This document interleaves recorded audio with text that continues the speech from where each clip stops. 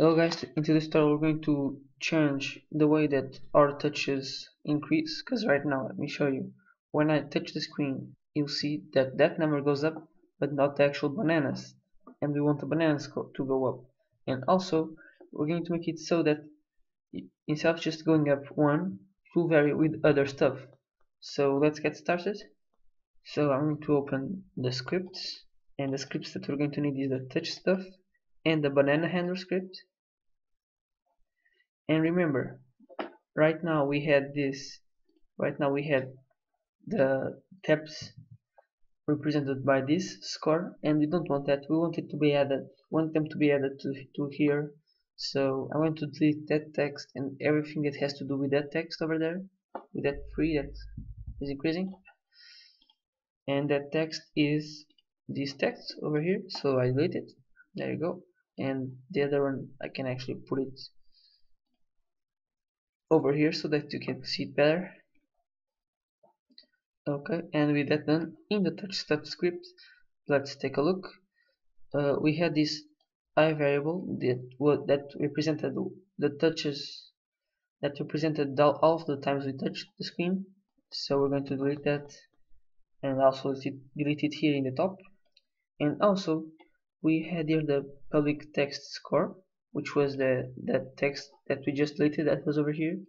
So I'm going to delete that as well. And I'm going to delete when we made the text be equal to the i variable. Okay. All of that is now deleted. And now I want to create a function in the banana handler script that handles whenever you tap the screen. So first I'm going to create here the name for the function. I'm going to make it a public void screen tapped I don't think that we made that function already. Okay. And now we want to call this function in this script. And how can we do that? Using references. So we have to create a reference to this script mainly to this script in here. So let's make here public. And the name of the script is banana handler and just name it bh and now we're going to drag the instance of the script that we want to to call. So here so the banana the touch stuff script is in the banana sprite. So here it is the space that we just created. And we're going to drag to there the banana handler game object because it's there that is this script over here. So if I drag the banana handler object into here it will find the script. And now that instance this instance of the banana handler script is now here. Okay and with that done we can now call this function because this function is public we can call it through here. So remember before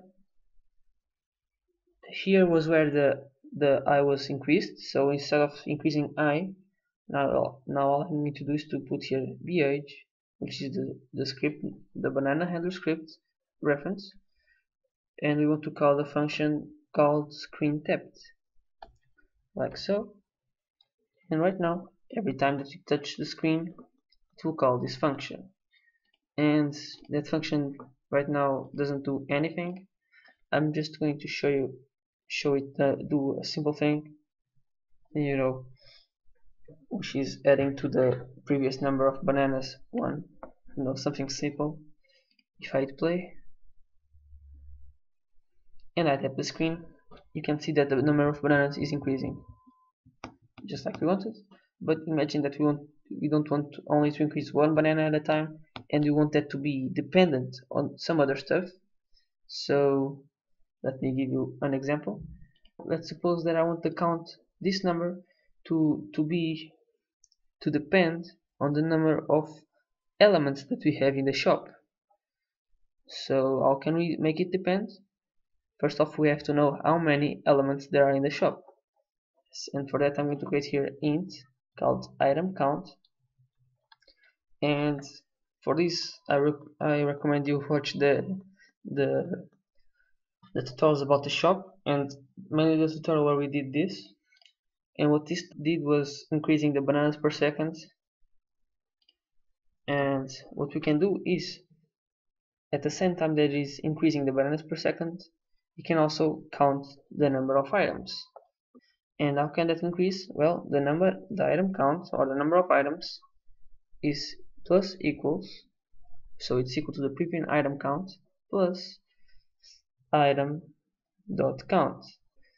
And with this we are cycling through every item in this shop items array and we're finding the number we're finding the quantity that we have of each one and we're, we're adding to the item count. It's that simple. And with this then uh, I'm going to make this some kind of upgrade. So only if you have an upgrade bot this thing will, will work this item count thing. So I'm going to create here two variables. One is a public bool public bool depends on items. Okay and we're going to also create here a, a float it doesn't have to be public. Float called tap value which is the value of each tab okay and going back to the screen tap function where we that was called every time that we tap the screen we can first put here the total value to be equal to to the tap value. Okay and that will be done in the end. Here we're going to check for that upgrade. So if dependent on items then we want the tap value which is supposedly zero and we can set it as one for starters. It can be any anything but whatever.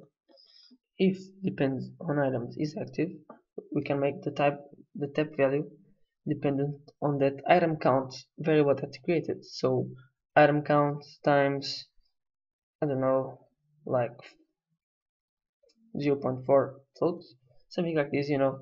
And now every time that we click that we tap the screen it will this will be the value of the tap value. And you can even add more upgrades over here. Let's for instance add over here another public bool bool upgrade upgraded touch. And now and what this bool does is that every touch counts twice. So if upgraded touch then the tap value is equal to the tap value times 2 you know stuff like this. You can and this is how you want to do the upgrades. There's other ways that, but that's the this but that's the way I do it and it works correctly anyways I'm going to hit save. And if I hit play if I tap the screen I get only one banana as you can see. But imagine that we go into the buttons banana handler and activate that that and activate the upgraded touch. So now every every touch will be doubled. So because I only have that upgraded that upgrade on every time I touch I get two bananas okay? And now I can even make it dependent on items. So let's buy some items. Let's get some monkeys and some trees. And now we have four items.